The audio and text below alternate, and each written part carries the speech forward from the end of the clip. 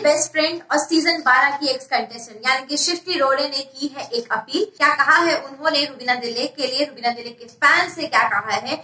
चलिए आपको बताती हूँ इस वीडियो के अंदर। नमस्कार, मैं हृदम ठाकुर। स्वागत करती हूँ आप सभी का बॉलीवुड हेडलाइंस में।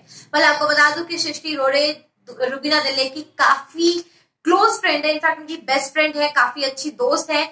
और शुरुआत से ही सृष्टि जो है, वो रुबीना को फुल ऑन सपोर्ट करती हुई नज़र आ रही है। तो यहाँ पर आपको बता दूँ कि सृष्टि ने अपने ट्विटर पर एक बात लिखी है और यहाँ पर एक अपील की है। क्या है इनका कहना?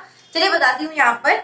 Hey guys I have missed a few episode of BB but anyways since this is the last week going on, I would want to request everyone to please vote for Rubina Dilek not because she is my friend but she is genuinely the most powerful contestant and truly deserving. Please vote for her यानी कि रुबीना और एक heart का नोटिकॉन जो है वो share किया है तो यहाँ पर रुबीना के फैंस से सृष्टि ने गुजारिश की है अपील की है कि please vote for Rubina so guys Rubina Horlicks Rubina fans जिस तरीके से आप लोगों ने ट्रेंड अपना किया था जिसमें 16 मिलियन के ऑलमोस्ट जो है चीज़ें पहुँचती चली गई अब ऐसे ही आपको फिनाले वीक में सपोर्ट करना है रुबीना दले को।